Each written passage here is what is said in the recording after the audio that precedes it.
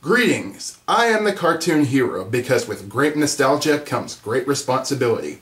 Back in my review of Atlantis, I said that I would be getting to Treasure Planet, another Disney box office bomb, in April.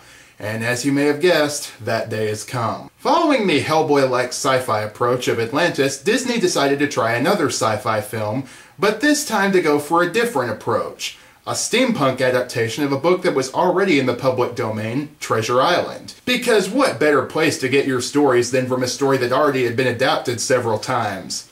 Okay, I joke, but honestly, Disney was taking a pretty big risk.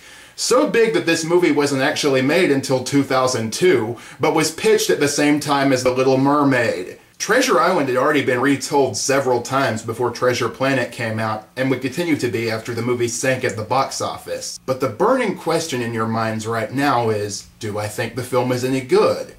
Well, I like it, but that doesn't mean it's without its share of problems. Kind of like Pokemon the first movie. But while some of Pokemon's problems can be blamed on inconsistent dubbing, well, you'll see after the theme song.